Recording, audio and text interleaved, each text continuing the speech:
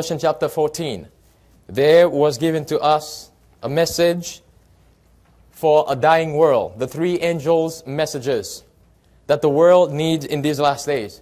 The disciples were given a commission. We find that in uh, Matthew chapter 24 and verse 14. We also find that in Matthew chapter 28 and verses 19 and 20. We also find that in the book of Mark. The last chapter there, the commission was given to them. But there was a movement that God had raised in these last days, in the middle of the 1800. And the gospel commission that was given to them was similar to the one that was given to the disciples, but with more detail for this time, which what we will call present truth. And in Revelation chapter 14, just one verse there, the three angels' messages we're looking at, but we're looking at the last verse there that is found in uh, verse 12. Revelation chapter 14, verse 12. It says, very familiar passage again. Here is what? Here is the patience of the saints. And then what else? Here are they that men of God and the and the faith of Jesus. So the God the Bible says, here is the patience of the saints. Here are they that, that do what? That keep the commandments of God and the faith of Jesus Christ. What is the faith of Jesus Christ, my brothers and sisters? How would you describe the faith of Jesus Christ there? How would you describe the faith of Jesus Christ? Here is the patience of the saints. That's the, that's the first clue there. Here are they that do what? Keep the commandments of God, then what else? They have the faith of Jesus Christ. So the Bible there, in that verse, that gives us two clues. The saints have patience, and they also keep the commandments of Jesus Christ. And then what? The faith of Jesus. What is the faith of Jesus? One of the books that I can take you, I uh, heard that? The testimony of Jesus Christ. What else? The, I heard spirit of prophecy. What else? Turn with me now to the book of Philippians, Philippians chapter 3. If we were to use one of the stories in the Bible, one of the best stories in the Bible to describe this, the faith of Jesus Christ, it says the saints will need patience, my brothers and sisters. Was Jesus patient? Yes. He was very, very patient. He was a very humble man. He put up with uh, the hypocrisy, the apostasy of, of his people even when he came, as we are about to read in Revelation chapter 14, even when he came, he presented himself to them. And they should have known better. But they rejected him, as uh, Isaiah chapter 53 tells us. But notice with me now in Philippians chapter 3. Paul now is one of the perfect example we can use here to describe the faith of Jesus Christ. Notice with me now, Paul, as many of you know, he was a what? A Pharisee. He persecuted God's people. Amen? He persecuted the church. He was very zealous for the, the Jewish faith that he wanted to uphold. And that's why he persecuted these folks. But he did it uh, uh, out of ignorance. Amen? A lot of us sometimes, we do things out of ignorance. Notice with me now in Philippians chapter 3. After Paul described who he was before he met Christ, and uh, how he was a Pharisee, a Hebrew of the Hebrews. And then he says, verse 7, But what things were gained to me, those I counted, what's the word? Loss. Lust. So what is the faith of Jesus Christ? What is the faith of Jesus Christ? The saints will need patience. Notice again now, Paul says, But what things were gained to me, those I counted them so, what is the faith of Jesus Christ, my brothers and sisters? What is the faith? The saints will need patience. The saint will need endurance. We're going to have to go through some tough time. Because remember in the context that Revelation chapter 14, verse 12 describes the patience of the saint here. This was after verses 9 through 11 describe those who will receive the mark of, of, the beast, and also during that time of trouble, the persecution that will come upon God's people. as Daniel chapter 12, uh, 1 described it, there will be a time of trouble like we've never seen before. But notice now, going back to the account of Paul here, verse 7 again in Philippians chapter 3, verse 7. But what things were gained to me, Paul says, those I counted them what? Lost for who? That is describing the saints in Revelation chapter 14, verse 12. Verse 8, Yea, doubtless, and I count all things. How many things? All things but lost for what? For the excellency of the what? For what? He counted all things lost for what? Because Paul wanted to know Christ for himself. Notice, and then he says, Of Christ Jesus my Lord, for whom I have suffered the loss of all things, and do count them but what what? What's another word for dung? Waste. Nothing. Then it says, that I may do what? Win Christ. That's the patience of the saints, my brothers and sisters. That is the patience of the saints. We remember the account when Paul, who was Saul, when he met Christ, what did Christ do to him? He knocked him what? Knocked him off his horse.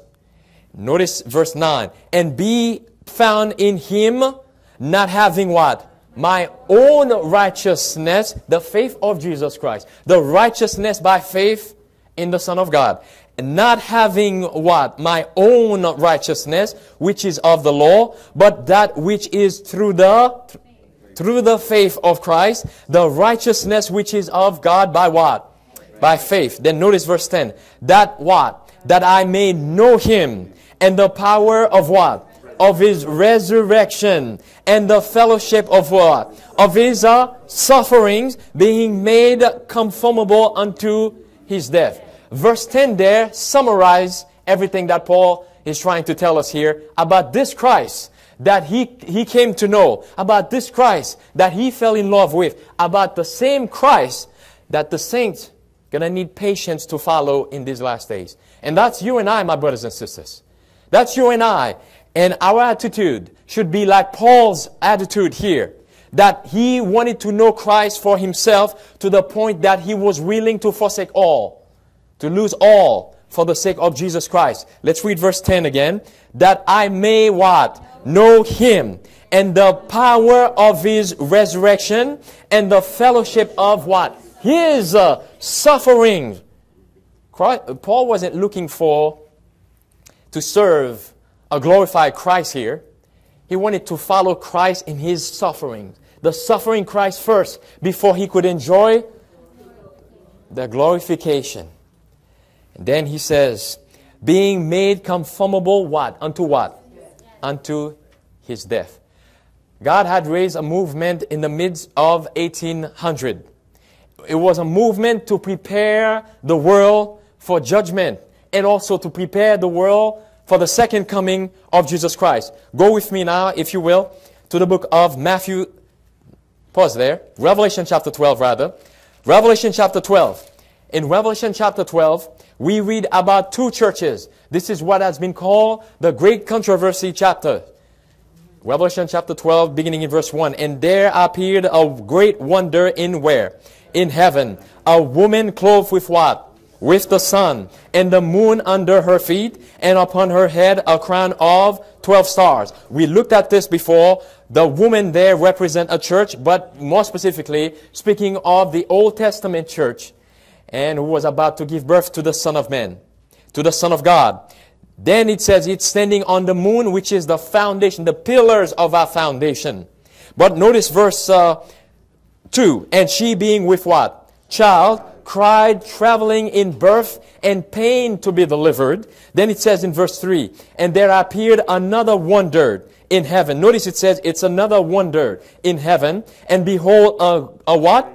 a great red dragon having how many heads? Seven heads and uh, ten horns and seven crowns upon his head. Where have we seen a description like this before, my brothers and sisters?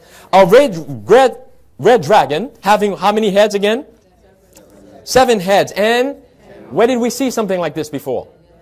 Daniel chapter 7. And who is this referring to, my brothers and sisters? And also we saw that in Revelation chapter 17. The woman that, right, that is riding the beast. The beast with uh, seven heads. Remember that? We studied that a couple of Sabbaths ago. And who is this power being described here?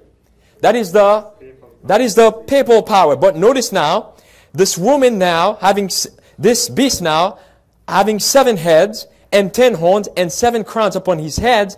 Notice how it describes it in verse 4. And his tail drew the third part of the stars of heaven. Who is that describing?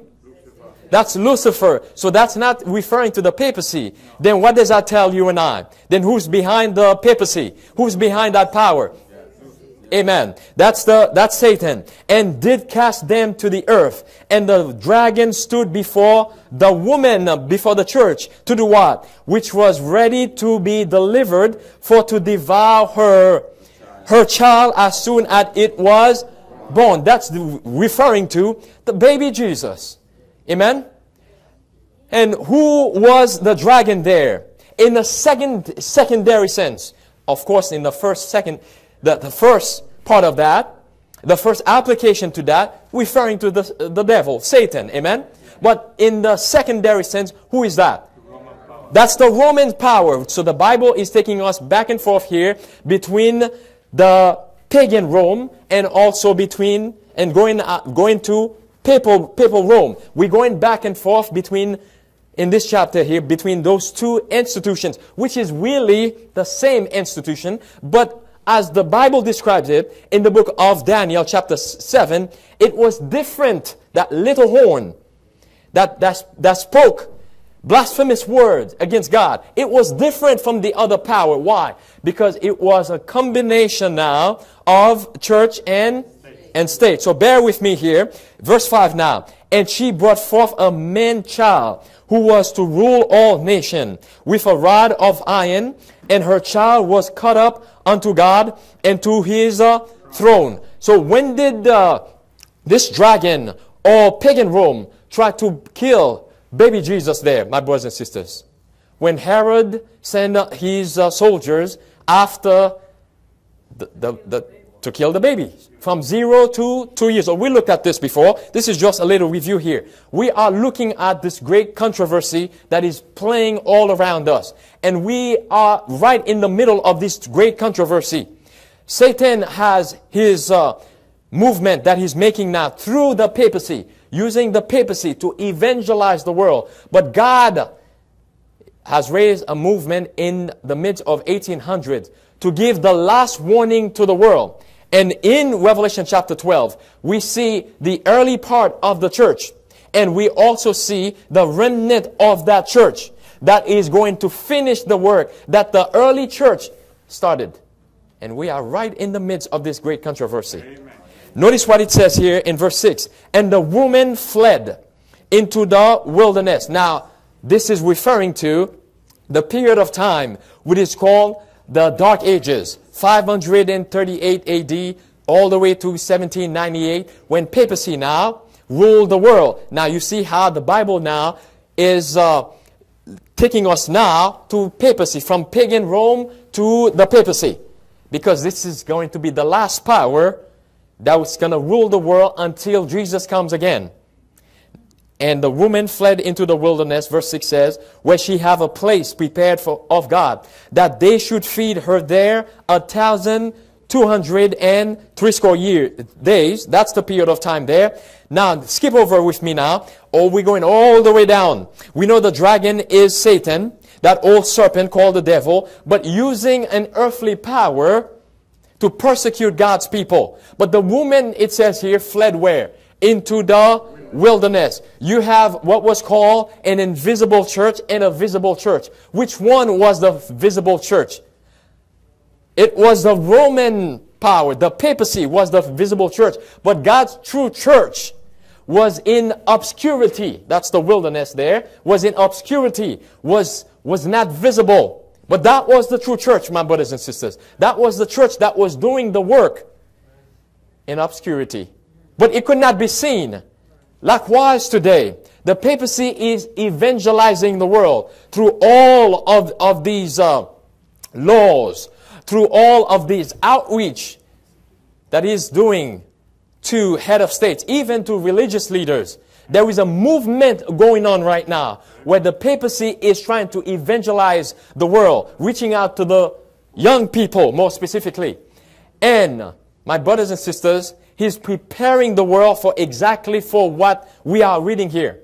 For persecutions once again.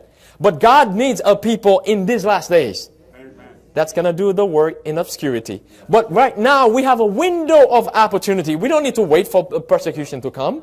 We have a window of opportunity that we need to rise up and uh, have an outreach for God. Just like the disciples did before persecution came upon them. They reached the world in one day. The Bible tells us 3,000 were baptized.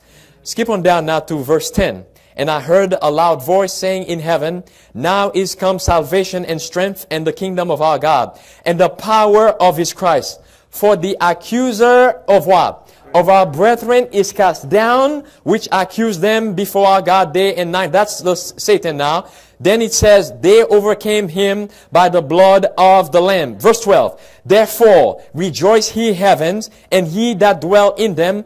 But notice now, Woe to the inhabitants of the earth and of what? And of the sea. For the devil is come down unto you, having great wrath, because he knows what?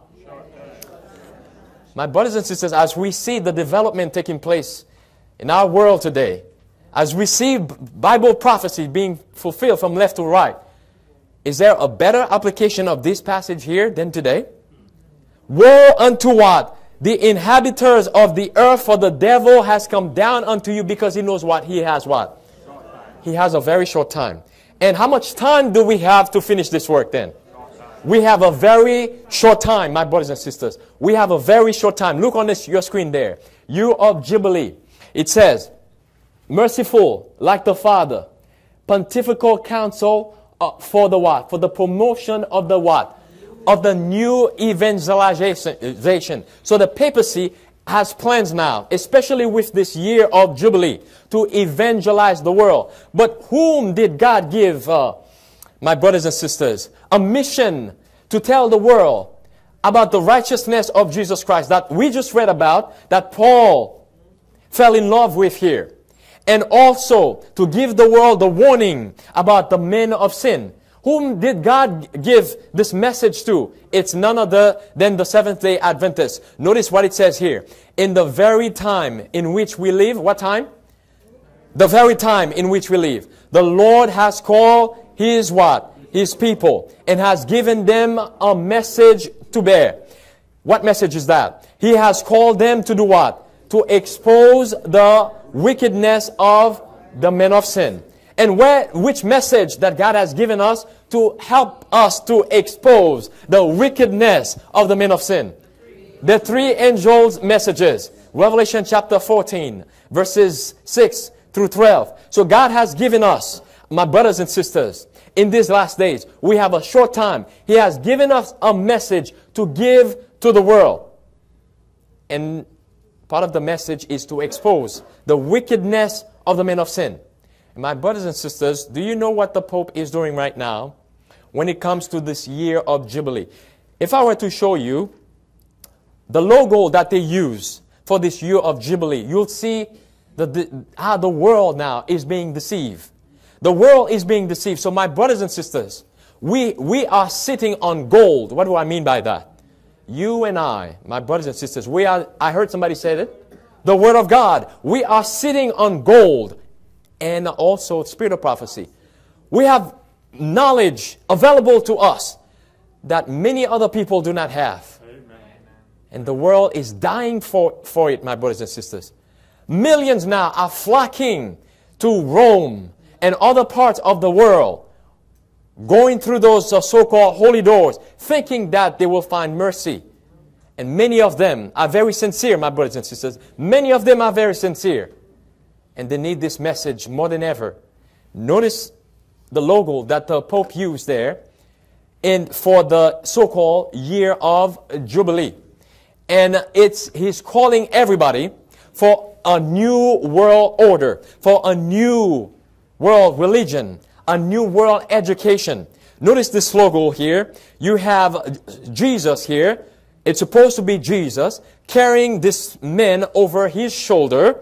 But what do you see? Their eyes met together. But what does it mean to have that, that one eye there in the middle of that? Notice what it says here.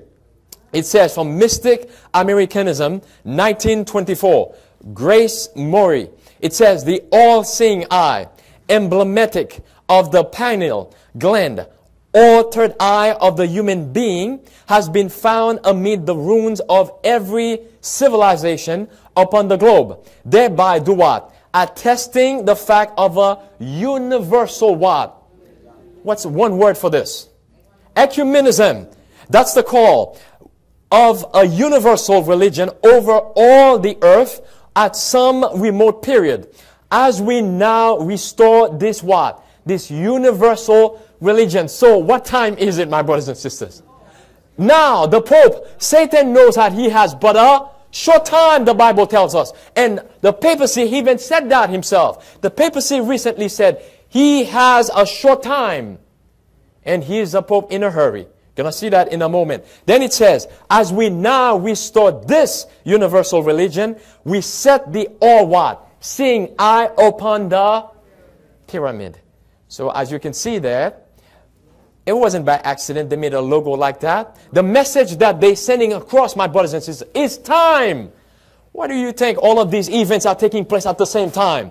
We have now a global law now, so-called climate change and we are told that as a result of enforcing laws like this, that's going to lead to the mark of the beast. And Satan knows, my brothers and sisters, that he has but a short time. And the papacy understand that now is the time. And having a logo like that is sending a signal for, to those who understand the message that it is time my brothers and sisters. It is time within this year of Jubilee to walk through those holy doors. It's time to have a global religion. Notice what this says here. December 16, 2015. Western journalism. It says neighborhood finds chilling letter about what? Islam in mailboxes. What the note said had police what? Come running. Notice now, it says Sweden welcome what? Syrian refugees. Who's been calling for all of the nations, my brothers and sisters, to welcome those refugees? Who's been calling for this? And is United States of America about to bring in over tens of thousands of those Syrians? But notice what this says here. Sweden welcomes Syrian refugees with open arms. Sweden's government and people rolled out the welcome map for refugees by bringing in over 200,000 Syrians, many of whom settle in uh, Stockholm. Then it says, the humanitarian act of the generosity and virtue has now been met with what? With messages of hate and what? Intolerance. And if true, those very refugees are threatening to kill Swedish citizens for what reason? If they refuse to convert to my brothers and sisters, we are living in these last days. Satan knows that he has but a short time, and the papacy had put all of these things in place. And they are about to bring tens of thousands of these so-called refugees here to United States of America. Who is behind Islam, my brothers and sisters? It's, it's the Pope. Everything has to be in order. The stage has to be set before persecution begins. And now these nations that have embraced these refugees are facing persecution, chaos all over the place. But my brothers and sisters, it is part of the plan to persecute God's people those who are preaching the three angels message, the everlasting gospel of Jesus Christ, the righteousness by faith in the Son of God only, the only true God that you and I need to serve in these last days. They are making it illegal in, this last, in these last days to worship God according to the dictate of your heart. My brothers and sisters, the papacy is making rapid move, as the Bible tells us. Go back with me now to Revelation chapter 12. It says here, Verse 13 now. And when the dragon, the dragon knows that he has but a short time. Remember that? Remember that? And when the dragon saw that he was cast onto the earth, he, what did he do? He persecuted the woman which brought forth the man child. This is referring to when Jesus died on the cross, when the great controversy was really unveiled to the unfallen world, when they see the true characteristics of Satan and the true characteristics of Jesus Christ. Amen? The true characteristics, the love of God for the unfallen world and fallen humanity.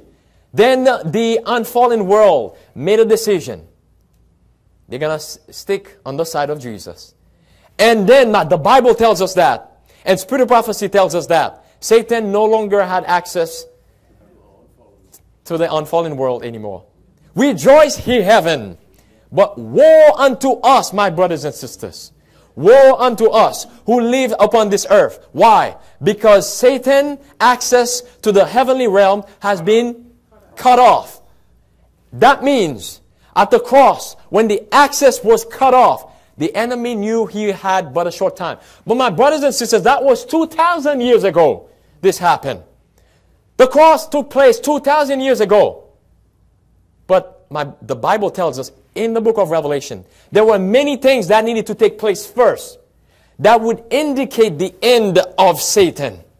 And we, as Bible students, as Seventh day Adventists, we have seen all of these things. We have witnessed many of them. They are being fulfilled right in front of our eyes. Right now, as we speak, my brothers and sisters.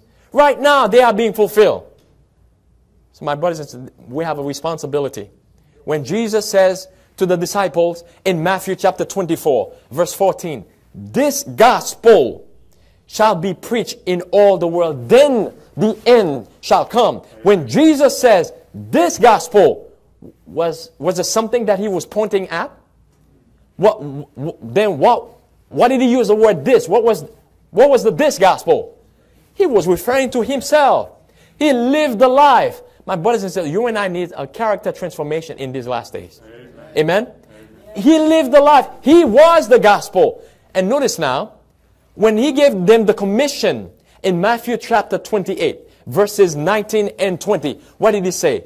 Go into all the world and take the gospel to them. So notice now, Matthew 24 says he was the gospel. That needs to go into the world. But then in Matthew 28, he sent them to the world to take the gospel. So now, my brothers and sisters, we become the gospel. Our lives become the gospel. My life become the gospel of Jesus Christ. Here is the patience of the, here are they that do what? Keep the commandments of God. And what? Whose faith do they have? The faith of Jesus Christ, the characteristics of Jesus Christ, the gospel of Jesus Christ that transforms life. But today they are making this illegal, my brothers and sisters. Notice with me again in verse 13. And when the dragon saw that he was cast unto the earth, he persecuted the woman which brought forth the man, the man child, because that woman reflected the man child, the characteristics of the Son of God. Then it says, verse 14, and to the woman were given two wings of a great eagle that she might fly into the wilderness, into her place where she is what? Nourished for that same period of time again 538 AD all the way to 1798. But notice verse 15 now. And the serpent cast out of his mouth what? Water as a, what does water represent again? People, nations, languages. Then it says again, and the serpent cast out of his mouth water as a flood after the woman that he might cause her to be carried away of the flood. Notice now, and the earth, we looked at this before, the earth represent who? United States here of America. Revelation chapter 13 verse 11 tells us that there was the second beast that came out of the earth. And we know that the second beast is United States of America. And so it says, and the earth helped the woman. The earth helped the, the woman who was being persecuted by the dragon, by the papacy And where is Rome, my brothers and sisters? Is in Europe. Amen? The papacy seat is in Europe, right? But it says the earth helped the woman. This is referring to the pilgrims that came to the shore to flee persecution. They came to the shore of United States of America. And this is why we, uh, our constitution, should I say, used to say? Yeah. Used to say that we have what? It's based on freedom of conscience. We are a nation without a king and a nation without a, a pope. Because why? Because that they fled the kings and the popes in Europe. But my brothers and sisters, Revelation chapter 13 tells us that United States of America will speak as a dragon. Notice going back again, then it says here in verse 17, and the dragon was wroth with who? With the woman and went to make war with the remnant of her seed. And here is the characteristics again, just like we saw in Revelation chapter 14 verse 12, which keep the commandments of God and have what? The testimony of Jesus Christ. So the dragon did what? Went after the remnant of the original church, the first church, the church uh, of the apostles, and, and went to make war with the remnant of her seed. My brothers and sisters, who are the remnant of the seed here referring to? Remember, the context is that the Bible tells us that the dragon, Satan, knows that he has but a short time. He has a short time. And then it says he's going to make war with the remnant of the seed, which keep the commandments of God and have the testimony of Jesus Christ, which is the spirit of prophecy. Did the saints, did Satan make war with God's people during the dark ages, my brothers and sisters? Did he make war with God's people during the, the time, the era of the early church? Did the saints in the dark ages, more specifically now, the Walden saints, did they reflect the characteristics of Jesus Christ? Just like the first church did. Then the last day church, the remnant of the seed, will reflect the same characteristics of the church, of the early church. Then if that church truly reflect the characteristics of Jesus Christ, the way the first church did it, the way the Waldensians did it, what must we expect in these last days? Persecution. We are told the reason why we, the church is at ease. We haven't seen any persecution is because we are not following the teaching of Jesus Christ. Amen. And God raised a movement. Not that we should be looking forward now for persecution, but my brothers and sisters, the Bible tells us that those who live what? Godly in Christ Jesus, what will happen to them? Shall face persecution. So it is inevitable, especially in these last days when Satan, the enemy, knows that he has but a short time. The papacy is speaking as a dragon. He is speaking for the for Rome. Like Second Thessalonian tells us that he comes to speak for, he represents somebody. And God has his representative. This is the great controversy being played in front of us, my brothers and sisters. Satan has his representative on earth, but God have a remnant in these last days. We are outnumbered. But the Bible also reassured us that those who are what? With us are what? Are greater than those who are who are against us. Notice what this article says here. It says, Pope Francis approves Mother Teresa for what? For sainthood. It says, Francis took the step by signing a what? A decree declaring that the in, in a what? Inexplicable 2008 recovery of a Brazilian man who suddenly woke from a coma caused by a viral brain infection was due to the intercession of the what? Albanian nun who died at age 87 in 1997. Is the world and seeing the papacy as a god, my brothers and sisters? But, but notice, this is all over the news. How could a man, my brothers and sisters, declare somebody a saint? Be based on miracle, so-called somebody who, who has died. They, they attributed that miracle that something that she had did, in this case, Mother Teresa, isn't that blasphemy, my brothers and sisters? Isn't that a deception? But the whole world believes this, my brothers and sisters. But do are we sitting on gold, my brothers and sisters? As Seventh Day Adventists, are we sitting on gold? What was it again? Spirit of prophecy told us that God has raised this movement to show who the man of sin is. To show, to show the world the deception. But this is all over the news. But the world have embraced this. The world think that the Pope has the power to do, to do this. But notice it says, he approves it.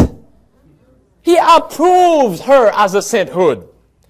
But again, what did Revelation chapter 14 say again? Verse 12.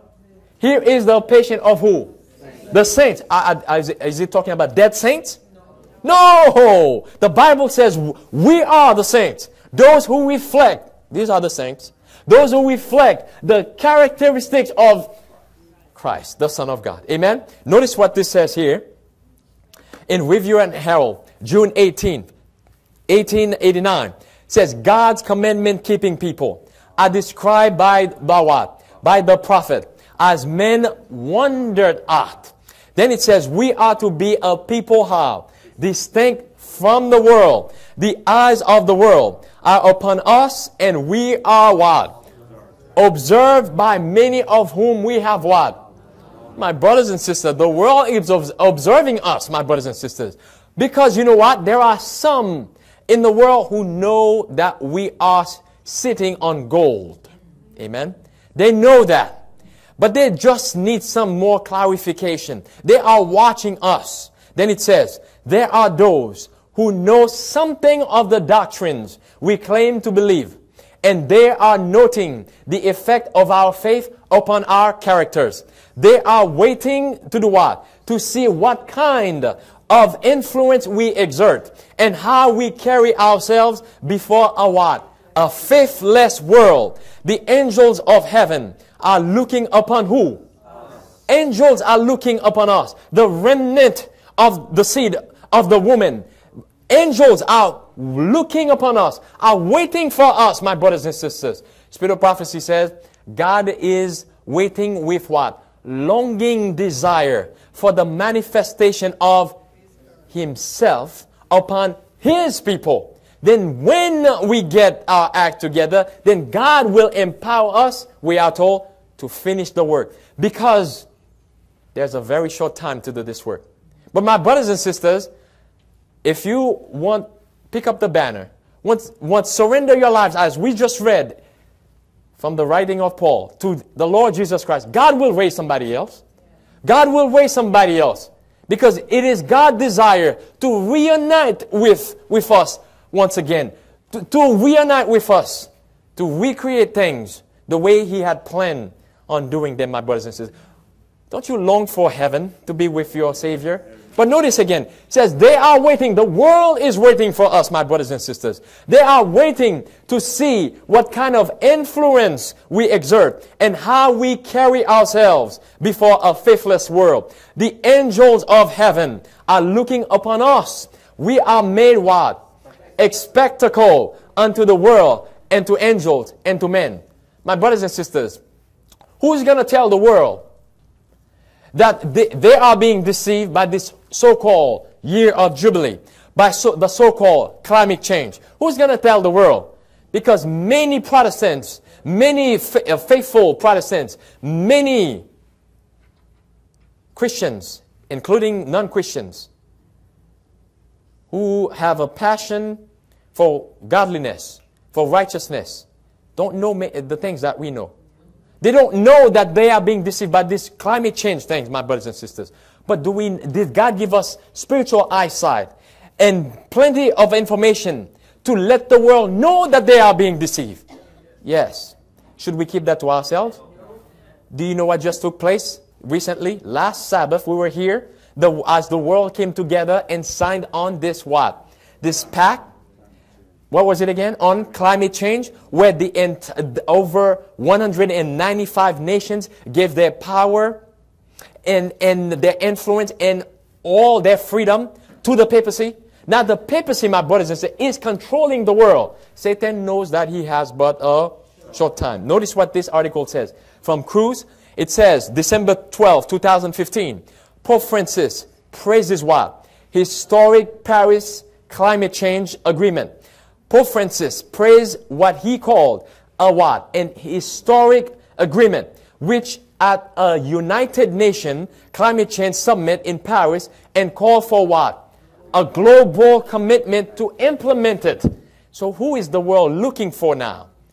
To getting their orders, to take orders from. So not only he called for this, now he's calling them to enforce it.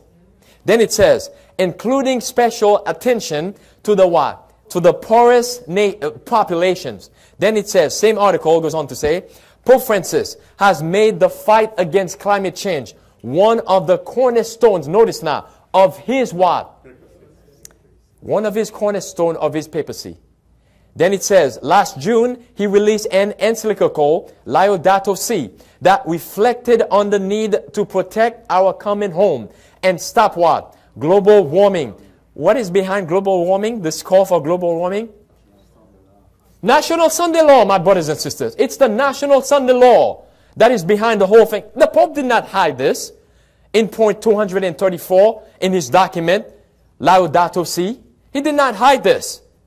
Then it says here, the Pope's role had been transformative in what? Mobilizing religious support. He's evangelizing the whole world right now. Then it says, for stronger environmental protection. My brothers and sisters, go back with me now to Revelation chapter 14. Revelation, which book we're going to? Back to the, the third angel's message. The three angels' message. Notice what time it is. The Bible says that Satan knows that he has but a. But notice how the Bible put, puts it. The second angel's message here. The Bible is also telling you and I, my brothers and sisters, as followers of Jesus Christ, and also telling the world what time it is. It says, verse 8, and there followed another angel saying what? Babylon is what? Fallen is what? Fallen. That great city because she made what? All nation drink of the wrath of what? Of her fornication. My brothers and sisters, what just took place a week ago? Wouldn't you say that the whole world have been made drunk? Wouldn't you say that? So what time it is? Babylon is what? Fallen and fallen, my brothers and sisters. Who did God give that message to to give to the world? The remnant of, of the seed of the woman. Are we the remnant of the seed of the, of the woman? So what time it is? It's time to give the message. But it's not just a message, my brothers and sisters. It's time for you and I to live the life. Amen? It's time to live the life. It's time for, so, because Sister White says, the world is watching us. Are they watching the message that we're preaching or are they watching the, the way we live our lives? The world is watching us, my brothers and sisters. It's a very short time that we have a very short time, my brothers and sisters. It's, it's time to, to, to, to stop wasting your energy in, in things that would not prepare you for, for glory. It's time that we should stop our energy from watching movies and all of these things they are, when we sit in front of the television and watching all of these things, by the way, I just did a video on this. I just posted it online.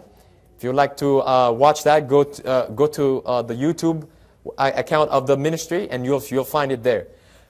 My brothers and sisters, the world is trying to reach out to our young people. And one of the ways they are doing this, even adults as well, it's through the media, television, and all of these things. And we are becoming spiritually dumb, my brothers and sisters. We will not grow in, in grace. We will not grow spiritually if we if we're sitting in front of these uh, objects that we were told by Anton LaVey, this guy who was a um, Luciferian. He says the reason why TV was invented. You may fool yourself thinking that, my brothers and sisters, that you only watch the good thing. I, I uh, fooled myself that way two years ago and it sucked me in into other things that was not so good for me. My brothers and sisters, we, we are living in these last days. The world is watching. Satan knows that he has but a short time. And the Bible says Babylon is falling and falling. As we see these events taking place, they, it means that Babylon is falling, is falling. It's not, we can't wait to see some horrible thing to happen to the papacy for to apply this passage here that Babylon is fallen, is fallen, is when we see the whole world, the Bible says, in being made drunk. Amen. That's what it says here. Let's look at it again. Let's look at the context of it again. It says, and there followed another angel saying, Babylon is what? Is fallen, is fallen. That great city, because she made all nations drink of the wine of her fornication through her policies. And the world, the whole world is being made drunk right now. So that means what? Babylon is fallen. Amen? Babylon is fallen because the world now is taking their orders from Babylon, from the papacy. Notice what this says here on the screen. In Great Controversy, page 616 and 600, 615 and 616. It says, Those who honor the Lord, the law of God, have been accused of bringing what? Judgment upon the world. And then it says here, and there will be what? Regarded as what? As the cause of what? As the cause the, of the fearful convulsions of nature and the strife and bloodshed among men that are filling the earth with woe. They just passed a global law, climate change law. What is going to happen next, my brothers? And sisters? Is that going to stop natural disaster? Yes or no? No. No, it's not going to. What? As a matter of fact, what would happen? It's going to get worse, even worse. So, spirit of prophecy is telling us what? What time are we living here, my brothers and sisters? She says, these things will be, will get worse and worse. And they will be, God's people, will be regarded as the cause of what? Of the fearful convulsions of nature and the strife and bloodshed among who? Among men that are filling the earth with woe. The power attending the last warning has enraged the wicked. Their anger is kindled against all who have what? Receive the message. And Satan will excite what? The still greater intensity, the spirit of hatred and what? What did we just read in Revelation chapter 4, uh, chapter 12 rather, verse 17? And, uh, and what? And the dragon was what? Wroth with the woman and went to make war with the remnant of her seed, which uh, keep the commandments of God and the testimonies now of Jesus Christ. And what, what did we just read here? That Satan will kindle a fire against God's people. All who have received the message. And Satan will excite to still greater intensity. So what must we expect in this last day? We should expect natural disaster to get worse. And as natural disaster get worse, then we should expect persecution um, against God's people to get worse.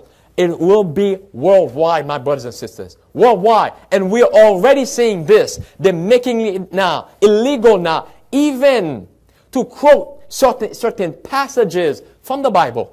Notice what it says here. It says, it says, quoting Conservative Post, December 9th, 2015, quoting Bible illegal where? In Cincinnati, starting this uh, Wednesday. This is why. It says, a $200 a day fine on a therapist or a counselor practicing the therapy that aims to change what? lesbian, gay men, bisexual, or transgender people from their sexual orientation or gender identity. Then it says, threatening them to fine them of $73,000 per year to a counselor that uses what? 1 Corinthians 6, 9 through 11 to help those caught in sin. You know what 1 Corinthians chapter 6 verses 9 through 11 say? Let's turn there. First Corinthians. We're going to First Corinthians chapter 6, verses uh, 9 through 11. My brothers and sisters, Satan knows he has but a short time. And the remnant of the seed of the woman will reflect the characteristics of Jesus Christ. They will uphold the Bible and the Bible only. And the enemy knows that. And so he's uh, inspiring the head of states, even uh, religious leaders, to make it illegal now to even quote Bible passages. Notice now, 1 Corinthians chapter 6, verses 9 through 11. Know ye not that the unrighteous shall not inherit what? The kingdom of God? Be not deceived. Neither what? Fornicators. That, what is it again? No what? Idolaters. What else? No adulterers, nor effeminate, nor abusers of themselves with mankind. We don't need to go into the, the, the graphic description here of what all of these uh, names mean here. We have young people among us. Amen? Amen?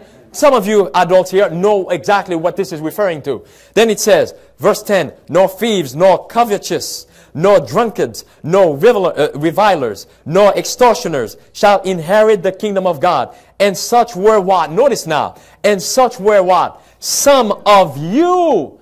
But ye are what? washed, but ye are sanctified by but ye are what? Justified in the name of the Lord Jesus Christ by the Spirit of God. So if you present this message, if you try to counsel someone who are living in this kind of lifestyle, or a, a drunkard, as the Bible says, or thieves, if you try to, to show them the hope that they have in Jesus Christ, this is illegal now. At least in Cincinnati, uh, Cincinnati now.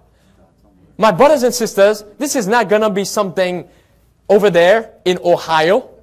It's going to be, it's going to spread all over the place. How much time do we have, my brothers and sisters? Satan knows he has how much? But a short time. And what message was given to the remnant? Revelation chapter 14, verse 8 again. Babylon is fallen, is fallen. Why? Because she has made all nations drink of the wine of her what? Fornication. What does wine represent in the Bible? Doctrines, teachings. And uh, the whole world has been indoctrinated, my brothers and sisters. But the, just like there was a group of people during the Dark Ages who discovered the Word of God, the righteousness by faith in the Son of God, men like Martin Luther, for example, and they knew what they were facing just by sharing the word of God with, with the people. They knew it would cause them, it could cause them their life. And it did cause them their life. But they were not ashamed of the gospel of Jesus Christ. Notice what the Bible says, uh, Spirit of Prophecy says here, right there. Great controversy, page 572. Every moment, speaking of Martin Luther, every moment that could be spared from his daily duties he employed in steady robbing himself of sleep and grudging even the time spent at his scanty meals. Above everything, notice now, above everything else, he delighted in what? In the study of God's Word. And then, and then what happened next? He had found what? A Bible. Where did he find a Bible? Chain to the convent wall. And to this he often repaid. So what did the, this article is telling us? That the Bible is being chained up again, my brothers and sisters. We are going back to the wilderness when you have, when you have two churches, like we just read in the great controversy chapter, Revelation chapter 12. Two churches, my brothers and sisters. Two churches in these last days. One was the invisible church. The other one was the visible church. The one that that is the visible church in these last days. It's the one the majority now is following. And the invisible church will have to carry this message just like the Waldensians and the, and the reformers did. Notice also what Wycliffe did, my brothers and sisters, when he discovered the Word of God for himself, the righteousness by faith in the Son of God for himself. Wycliffe, it says, he lived to place in the hands of his countrymen the most, notice now, the most powerful of all weapons against who? Rome. Against Rome. Which Rome? The papacy. Against Rome. To give them the Bible. And then it says, the heaven appointed agent, notice now, to liberate, enlighten, and evangelize the, the people, my brothers and sisters. What do we need to do in these last days? We need to have an aggressive evangelistic outreach to liberate the people from the deception. The papacy is in a hurry, my brothers and sisters. He knows prophecies. He knows it. Satan knows that he has but a short time. Then it says here, to give them the Bible, the heaven appointed agent to liberate, enlighten, and evangelize the people. He had placed in the hands of the English people a light which should what? Never be extinguished in spite of persecution. Then it says, in giving them the Bible to his countrymen, he had done what, notice now, done more to break the fetters of ignorance and vice, more to liberate and elevate his country than was ever achieved by the most brilliant victories on fields of what? On, on battle. We have the most efficient weapon, my brothers and sisters, at our disposal. We are sitting on gold, amen? We are sitting on gold, and the world is dying for this. Which group, my brothers and sisters, that the Pope keep mention, mentioning in almost everything that he, he, try, he says? The, the poor, the poor. It's the poor. What, which two classes did we have during the Dark Ages? Two classes, the rich and the poor. Which one of them was hungry the most for the Word of God? The poor. My brothers and sisters, have they created crisis in this last day so that we can have two classes again?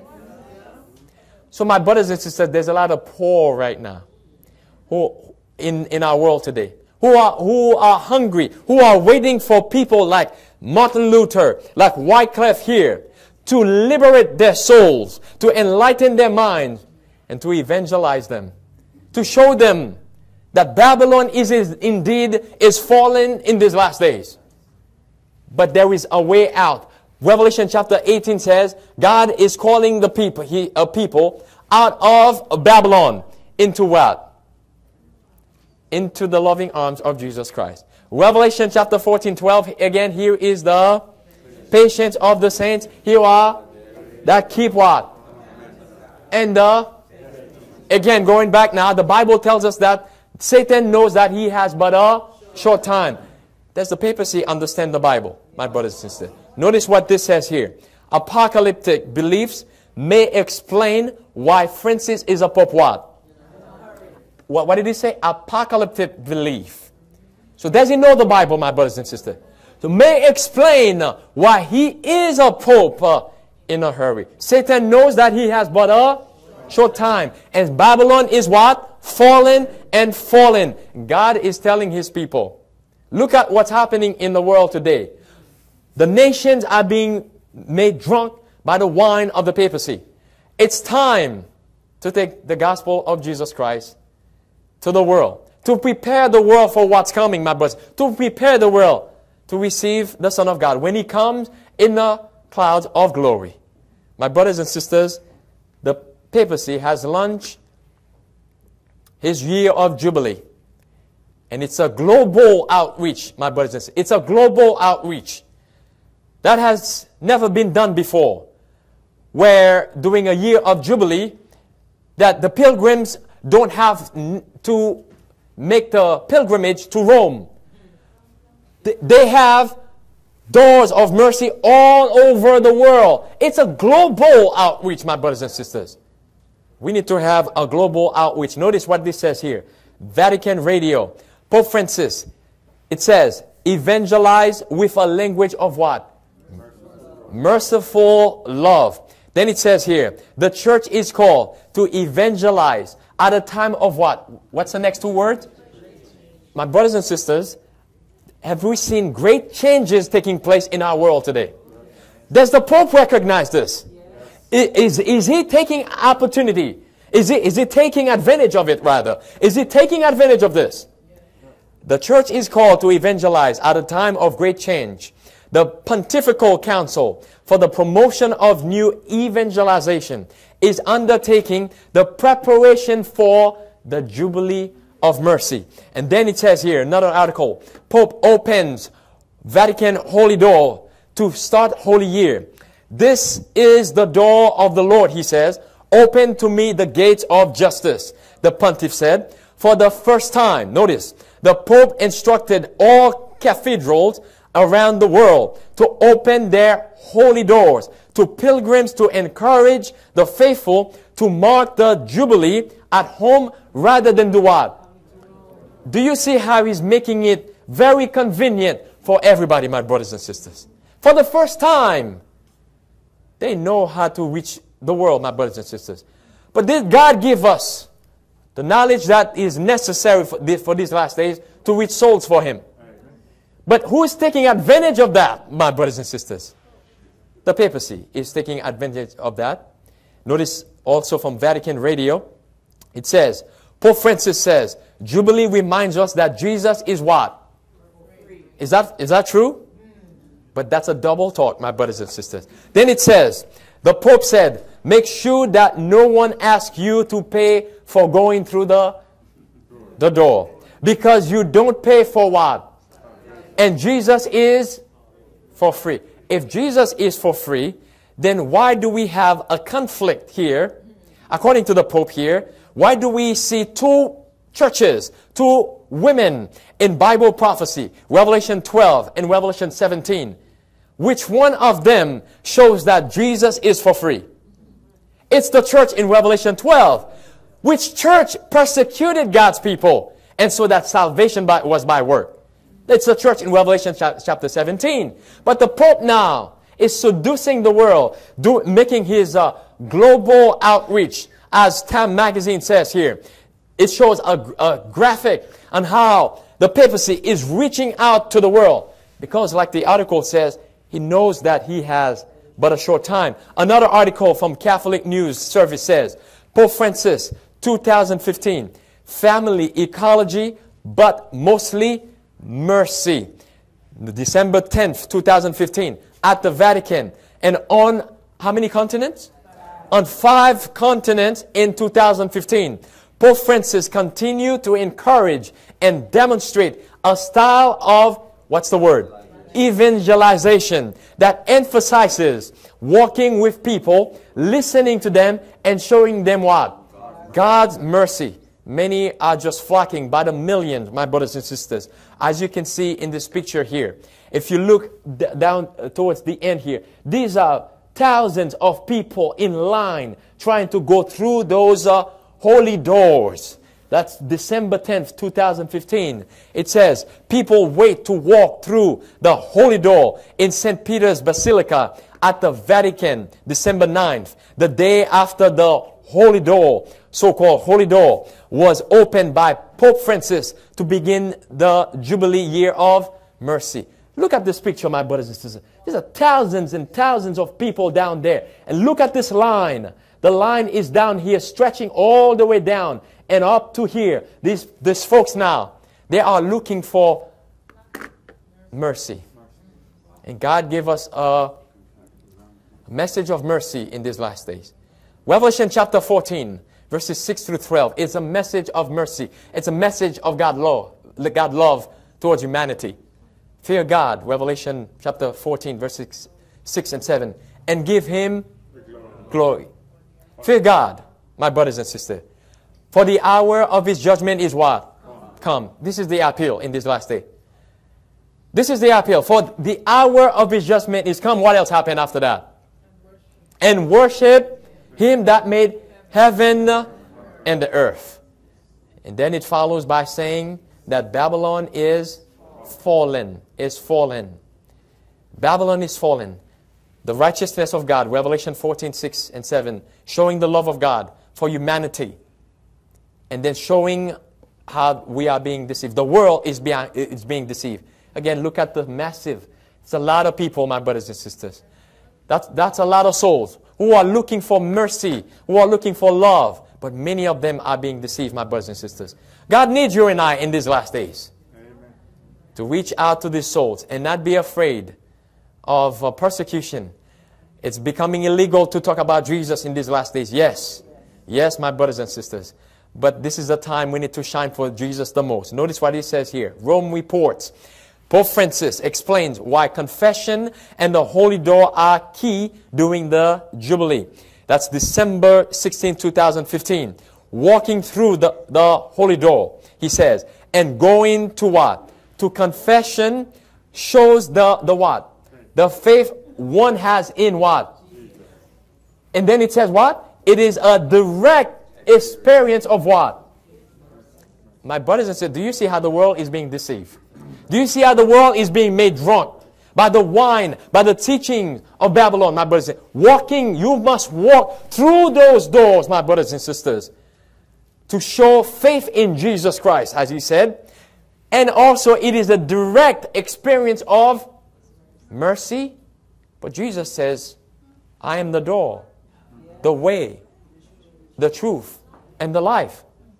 No man goes to the Father but by me. But the Pope says to do what? You must go through his uh, holy door.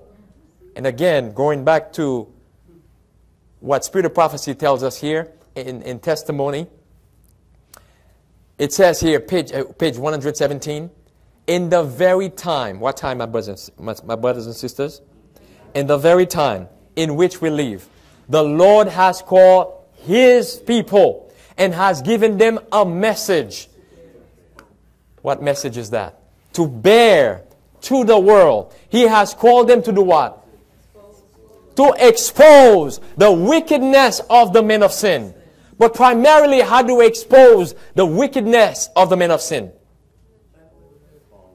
Through the righteousness of Jesus Christ. When we, when we reflect the characteristics, when I reflect the characteristics of Jesus Christ, then we present the message that Babylon is fallen and showing the people that the, the Antichrist is none other than the papacy in Rome. Then my brothers and sisters, many of these souls we just saw in the pictures will come to know Jesus. Amen? They will come to know Jesus. But in the meanwhile, my brothers and sisters, we have a short time to finish this work. We have a window of opportunity. While you and I can come here, Sabbath after Sabbath, without anybody coming after us, when we can sit here and study the Word of God and talk about the papacy, which is becoming illegal. Did you know that? Even in United States of America, it is classified under what they call hate speech. It is also classified under terrorism.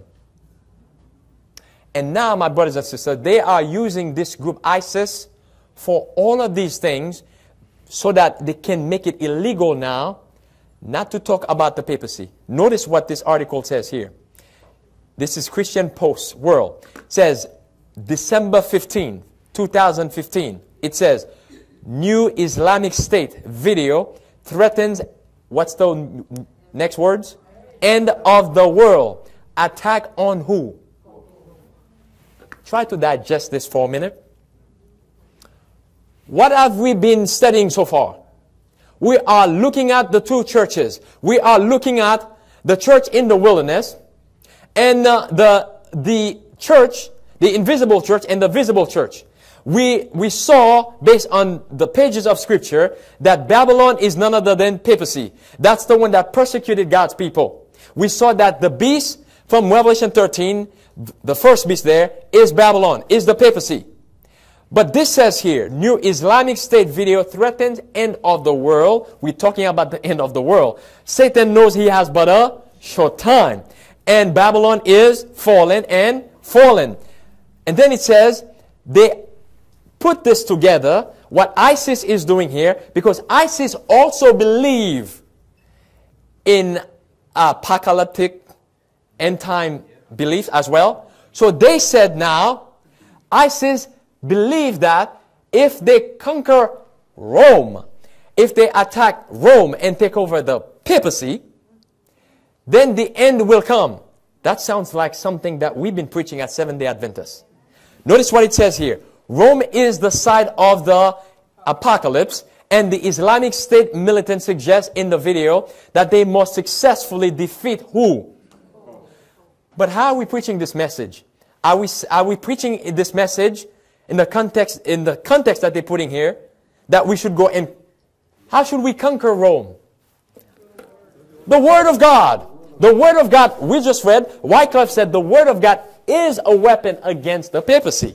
Amen? Wycliffe said that through the me- messages that we find in the Bible.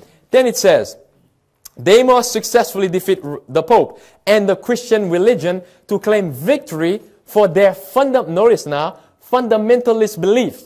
Extremist Muslims believe they will have successfully taken over the world when uh, they de- defeat what? The Pope in Rome. That is a smoke screen, my brothers and sisters. That is a smoke screen attacking the remnant, those of us who want to uphold the fundamental teachings that we find from the Bible. As a matter of fact, notice how th- that is a smoke screen. It says here medical kidnap. Christian family loses five children to CPS for, for what, what's the next two words? For radicalizing and what? Indoctrinating Christian with what? Children with what? With Christianity. Then it says, although the family wasn't quite sure at the time why their children were being taken away from them, their lawyer discovered that the parents were being charged with what? With Christian indoctrination. So if we are preaching now, if we are teaching our children, just like the Waldensians did, do you remember, my brothers and sisters, the spirit of prophecy that tells us that the, the parents taught the children the Bible and showed them that who the man of sin was. And they taught them to abhor popery. So in these last days, if we are children, teaching our children these Bible principles, so this says here that we are indoctrinating them. Then it says the lawyer obtained a copy of the government document that lists the charges against Marius and Ruth, which includes being what? Listed as what? Radical Christians who were indoctrinating their children. There was no proof of those parents doing anything wrong. The only thing they could accuse, accuse them of, teaching them Bible principles. So when they're saying that ISIS wants to conquer Rome and uh, destroy Rome and, and take the papacy ha- uh, hostage, what are they saying, my brothers and sisters? Who believe that the papacy is the Antichrist? Seven day Adventists, the remnant of her seed. This little group. And my brothers and sisters, it is not describing the regular line in this context. Go back with me now to Revelation chapter 12. And uh, as Revelation chapter 12, verse 17, you know this. Revelation chapter 12, verse 17, and the dragon was wroth with the woman and went to make what? War with the remnant of her seed, which has the two characteristics, to keep the commandments of God and has the testimony of uh, Jesus Christ. My brothers and sisters, we are living in a serious time. Amen? Do you believe that? We are living in a serious time. And the papacy is making rapid move to evangelize the world. Notice with me now to Daniel. Daniel chapter 12. Notice what the Bible tells, uh, tells us here in Daniel chapter 12. There is a time coming. The Bible describes it as the great time of trouble. But we're gonna, we're gonna need the little time of trouble to finish the, the, the work. But before that, my brothers and sisters, before we get to the little time of trouble, do we have the freedom right now to worship God according to the dictate of our heart? Yes, yes we do. But notice, Daniel chapter 12, verse 1.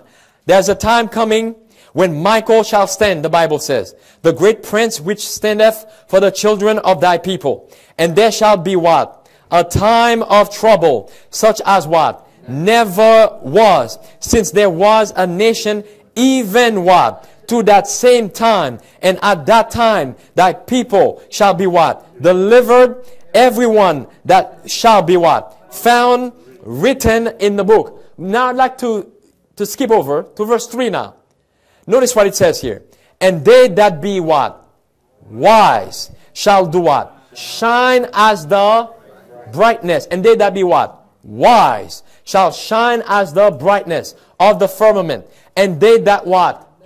Turn what? Many to righteousness as the what? As the stars forever. Who is that many there? Go, go with me now to the book of Job. What does that mean to turn many to righteousness. What does that mean? It says again in Daniel 12 verse, 2, verse 3 that those who turn many to righteousness as the star forever and ever. Job chapter 6, 16 rather. Notice what Job says in chapter 16, verse 21.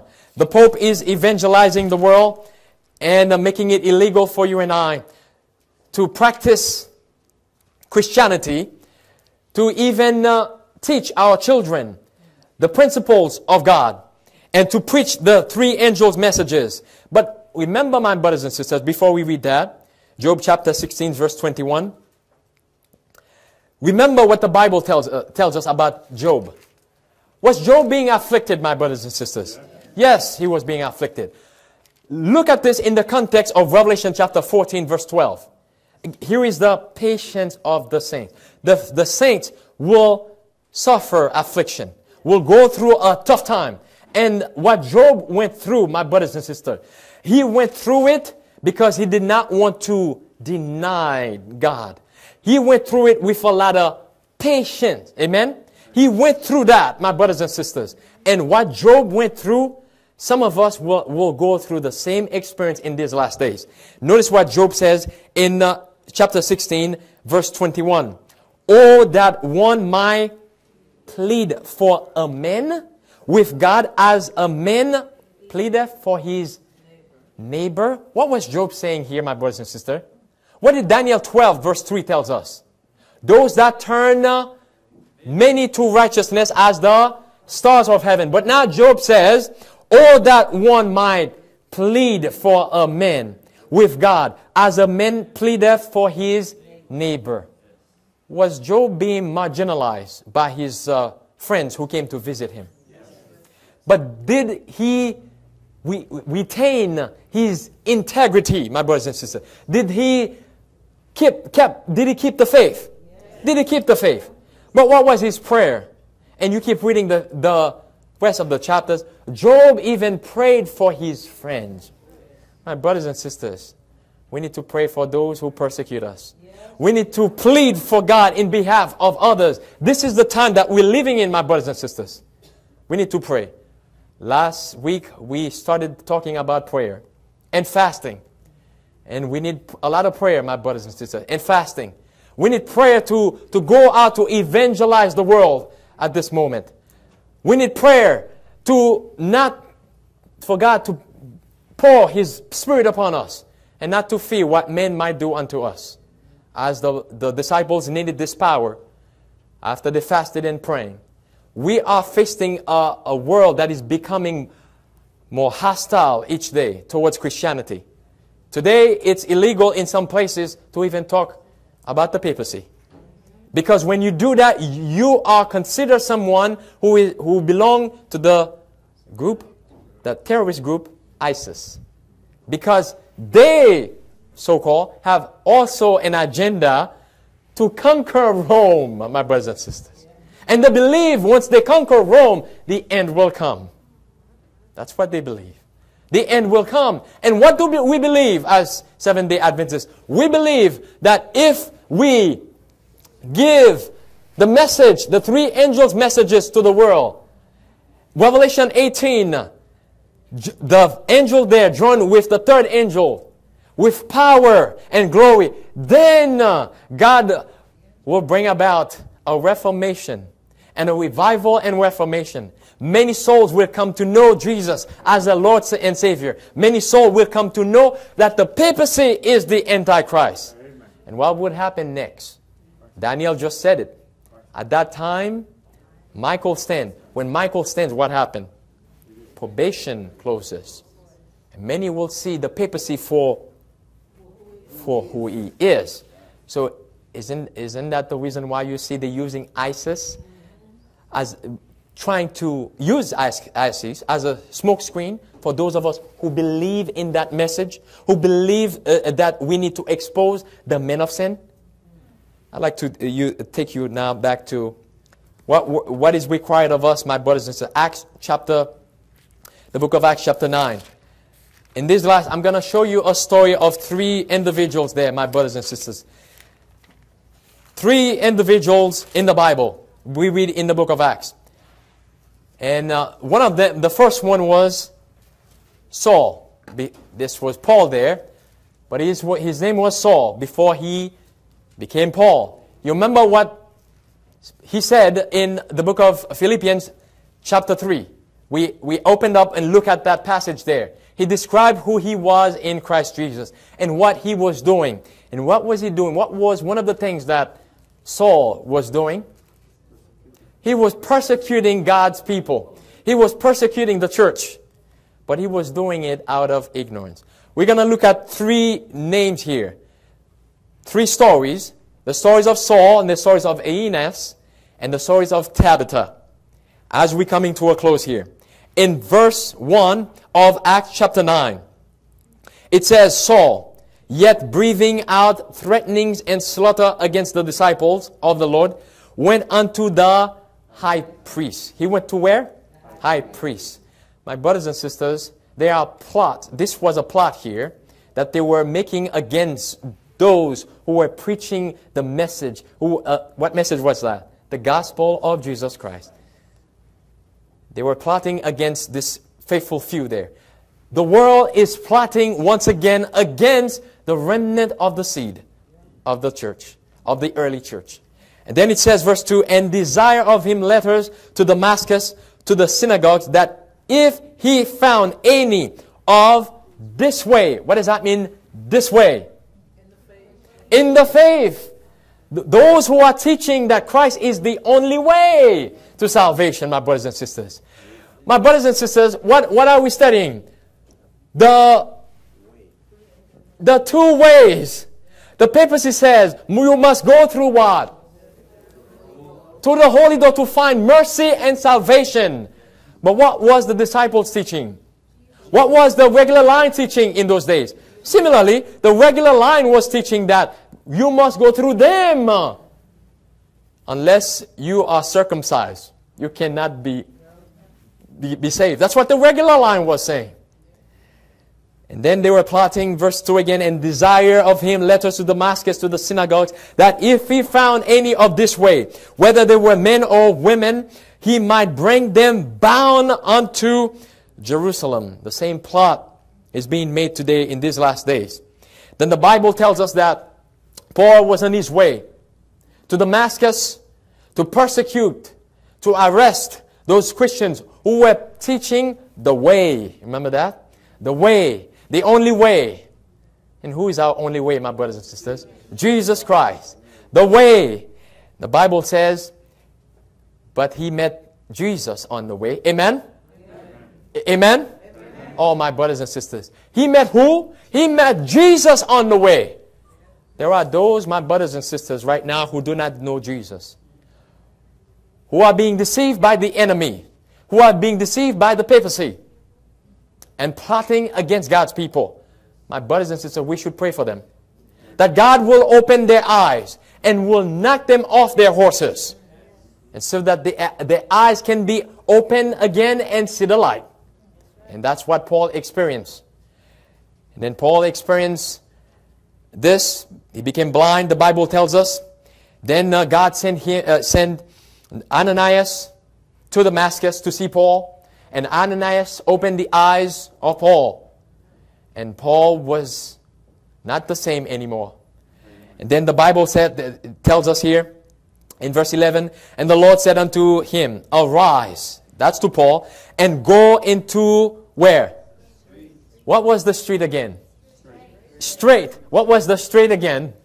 The way. The way. Now, who is the street represent here? Who is the way represent here? Who was he persecuting, my brothers and sisters? What did Christ say? You are persecuting me, Saul. Now, who is he? Who, who is God now sending out to take the message of Jesus Christ to the world? The one who was persecuting the way, the church. While we were yet, Christ died for us. We were enemies of God. Do you see yourself in, in Paul's shoes here? Where were you, my brothers and sisters? Did God knock you off your, knock you off your horse to show you the light?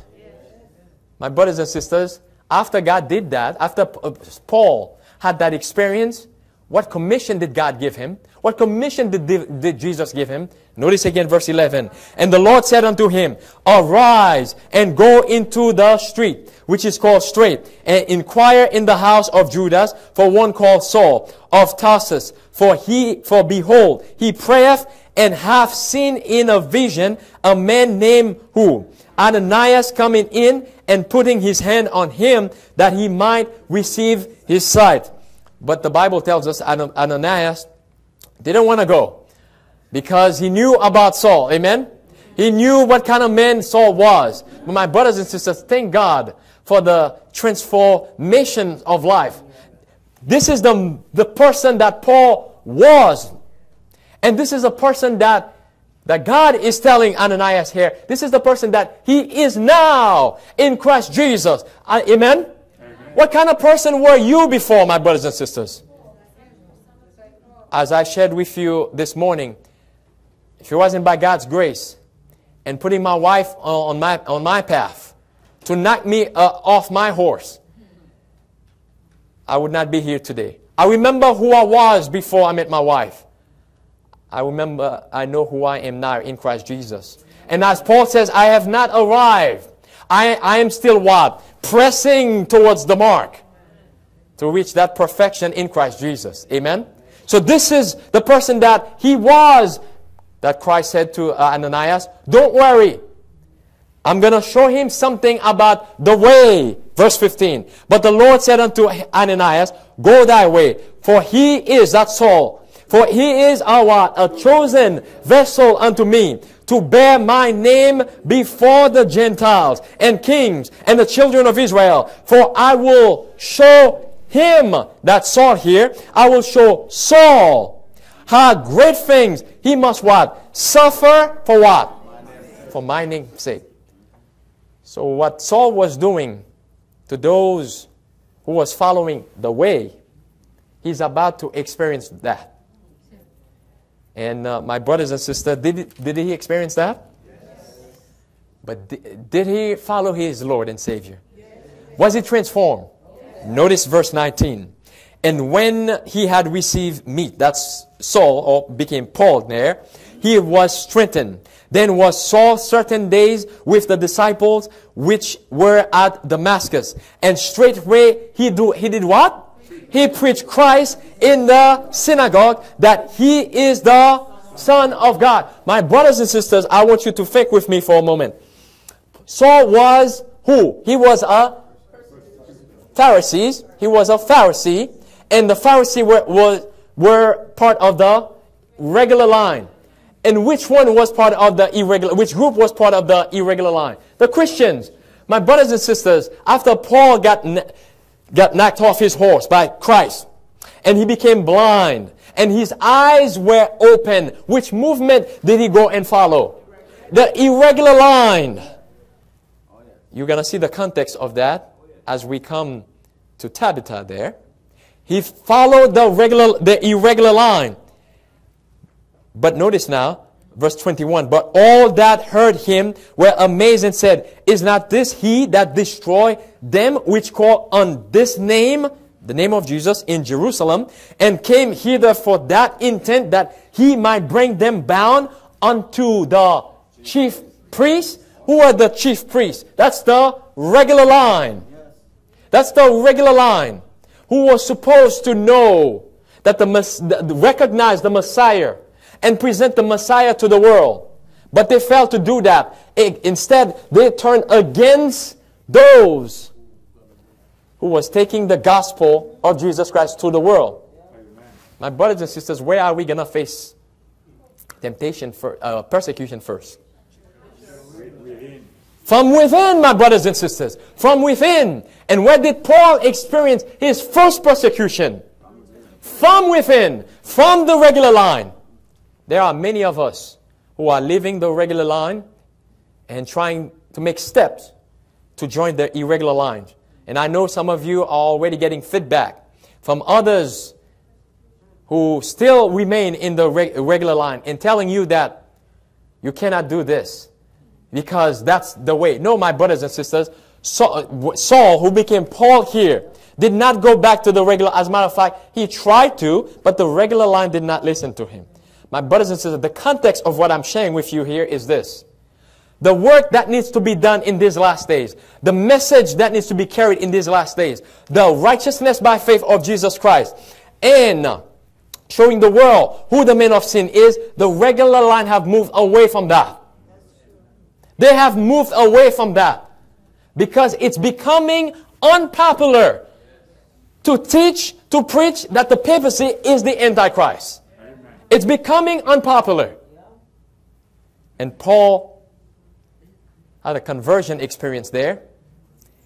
And he was not afraid to suffer martyrdom. And we just read that in Philippians chapter 3 for his Lord and Savior that he came to know for himself. Now let's look at another story here. Let's go now to verse 32. And it came to pass, as Peter passed throughout all quarters, he came down also to the saints, which dwell at Lydda.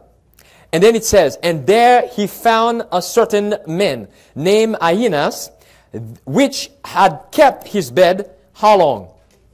Eight years. And was, what's the word? Sick of the palsy. Context there. Jesus, Paul met Jesus. And uh, he had a life transformation, a conversion experience. What message did God give to, so, to Paul? The gospel. He gave them the gospel commission to give to the world. Now notice now, the next story that follows after that is the story of somebody, following with me now, of somebody who was sick. Context there. That person was sick and Peter saw that individual. Was the gospel commission given to Peter as well? Yes. Peter saw that individual, verse 34, and Peter said unto him, notice, Aeneas, Jesus Christ maketh thee whole. Arise and make thy bed. And he arose immediately. Context. What else was, was given, has been given unto us as Seventh day Adventists? Along with the gospel message, the health message. Saul was, Paul was given what? The message to take to the world, to the Gentiles, to even to his own brethren. But the next story that follows, it's a story of the health message. Amen. Did God bless this movement with the health message? The church that is described in Revelation chapter 12 verse 17 as the church that has the characteristics of the first church that keep the commandments of God and the testimony of Jesus Christ. And the testimony of Jesus Christ is the spirit of prophecy where we get a lot of information about the health message to help prepare the world, which is also part of Revelation chapter 14, verses 6 and 7. The health message there. Notice what this says here It says the Lord desires his church to be what? A perfect, what kind of church? A perfect body, a perfect church. Not all arms, not all body without arms, but body and arms together. And every member working as part of the one great whole. As, notice now, as the right arm is connected with what? With the body, so the health reform and medical missionary work is connected with what? With the third angel's message. But remember last Sabbath we looked at this, that those who try to transform their diet from uh, a meat-eating diet to a vegetarian diet, they are called radical. Even that message in these last days is becoming unpopular. Even the health message is becoming unpopular, my, my, my brothers and sisters. Then it says, and is to work efficiently as the right arm, that's the health message, needs to work efficiently as the right arm for the defense of the body of, of truth. That's part of the three angels' messages. So, so Paul was given a commission to take the gospel of Jesus Christ to the world. And the next story that we read is Peter who finds someone who cannot do anything for himself because that person was sick of palsy. The word uh, sick of, or the expression sick of palsy means he was bedridden. It was, he was paralyzed. What's the context? That's an individual who cannot do anything for themselves. There are many today, my brothers and sisters, that we can only reach with, with the health message. If we show interest, if we show that we care about their needs, and show them how, like our sister here, just showed the health message with us this morning. If we show them that we care about their physical needs and how we can help them with their diet and all of these things that they might be going through, they might be more receptive to the gospel of Jesus Christ. Amen. Now notice the next story with me here as we come to a close. It says verse 35. And all that dwell at Lydda and Saron saw him and turned what? To the Lord. How did they turn to the Lord? What happened? What led others to the health message? The healing that took place. My brothers and sisters, the health message was given to us. Not for uh, so much for us to live longer, so that the people can see a difference in the way we look, in our appearance, and why we look so young even though we're 60, 50 years old. Why we look so young. Why we have so much energy. That's why the health message was given to us. To be a peculiar people, so that others can come to know Jesus. Because it says here, and all that dwell at Lydda and Saron saw him and turned to the Lord. The next story now, verse 36. Now there was at Joppa a certain disciple named Tabitha, which by interpretation is called Dorcas. What's another word for Dorcas here? A, deacon, a deaconess, and what's another word? A deaconess supposed to have, or a deacon, hospitality. Hospitality. Then it says, this woman was full of, what, what? She was full of what? Good works and alms deed which she did. What does a woman represent in the Bible? A woman represent a church. But it says here, Tabitha, a woman, was full of what?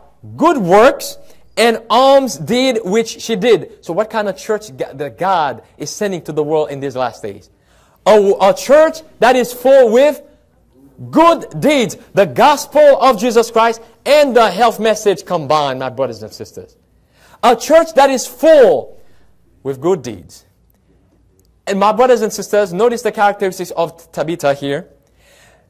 That she was full of good works and alms, de, uh, alms deeds, which she did. Verse 37, and it came to pass in those days that she was sick. And what happened to her? She died. Whom when they had washed and they laid her in an upper chamber, and uh, for as much as Lydda was nigh to Joppa, and the disciples had heard that Peter was there, they sent unto him two men, desiring him that he would not delay to come to them. Then Peter arose and went with them. When he was come, they brought him into the upper chamber, and all, what's the next few word? And all the who? The widows stood by him weeping and showing the coats and garments which Dorcas made while she was with them. A woman represent a church. Amen? A woman represent a church. And that church here, there, Tabitha, was full of good deeds. And, and, and what else? And alms deeds which she did. She had, uh, wouldn't you say she had uh, some special gifts that was given unto her? Revelation chapter 12, verse 17 again. Let's go back there. The latter part of it, the characteristics of the remnant of her seed is what? They have, they keep the commandments of God and the testimony of Jesus Christ. And the testimony of Jesus Christ is the spirit of, of prophecy, my brothers and sisters. When Tabitha died, what happened? The widows, what does a widow represent in the Bible again? the self-supported churches, the widows cried and mourned for Tabitha. Are you with me? The widows cried and mourned for Tabitha. What did God give to this end time church? Who did God raise as a prophet? The spirit of prophecy, the gift of prophecy. Ellen White, my brothers and sisters. My brothers and sisters, have you heard that Ellen White has been crucified? not literally on the cross. Did you hear what happened at the GC session, my brothers and sisters? Did you hear what happened there? What happened at the GC session? They crucified her. But which group, my brothers and sisters? Which group that has been crying to revive her? The irregular line, my brothers and sisters. The widows are crying to Peter, are crying to God to revive Tabitha. To revive. Notice what she, it says here. Testimony to the Church, volume 3, page 269. The straight testimony. What happened? Must revive. The straight testimony must be revived and it will separate those from Israel with what? Who have ever been at war with the means that God has ordained to keep what? Corruptions out of the church. Tabitha must come back to life. The self-supported widows say, spirit of prophecy must come back to life. Must be revived. That demoted her at the GC session, my brothers and sisters. Wrongs must be, must be called wrongs. Grievous sins must be called by the right name. That's uh, Testimony to the Church, volume 3, page 300, uh, 324. Then she says, in page 269, the plain, straight testimony must live where? In the church. Or the curse of God, what will happen? Will rest upon uh, his people. As what? As it did upon uh, ancient Israel because of their sins. The straight testimony must live in the church. Because that's what's going to cause a shaking, we were told. That's what the world needs. The Bible tells us that we, we need a prophet.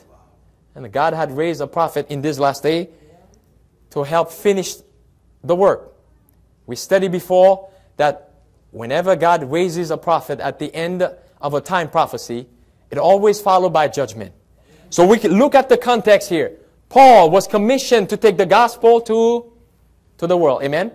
He was commissioned to take the gospel to the world. Then uh, Peter saw a man who was sick of a palsy, who cannot do anything for himself. That's the health message there. And Peter healed that man. And we see the story of Tabitha, who died. Tabitha died, but the people remember who she was. The, but which group of people remember there? The, the widows. The widows. The characteristics of Tabitha. The characteristics of spirit of prophecy, my brothers and sisters. The health message and the gospel was given to us. And also, we saw the characteristics of Tabitha there.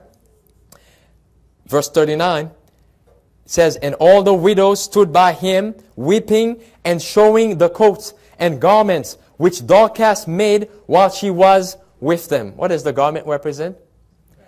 Christ's righteousness. Christ's righteousness is what we need to uphold in these last days.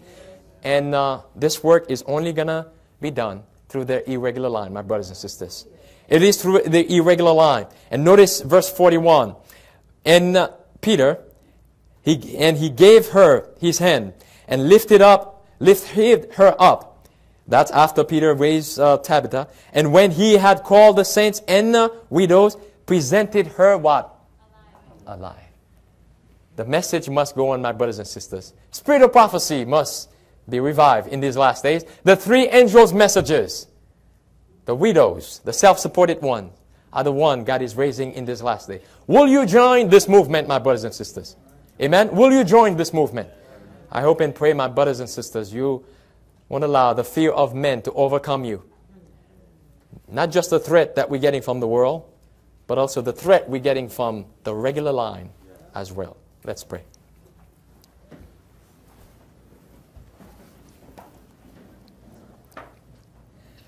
Our Father which art in heaven, hallowed be your name, O Lord.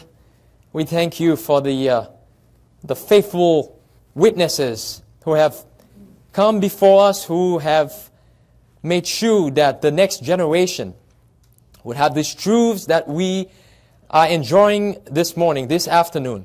They made sure that the next generation will have these truths available to them. They sacrificed their lives for your cause.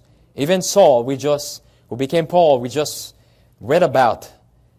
He sacrificed his, his life to know the Son of God for himself. Father, we, we are living in a very exciting times and we can see all the signs pointing to your return. And Father, you give us a commission to, to help make this happen in a much faster way. We were told that if your people were doing the work that they were supposed to do, you could have come a long time ago. And Father, we know without a shadow of a doubt that you are coming soon. And you are waiting for us to reflect your character to the world and also to take the message to the world. The three angels' messages.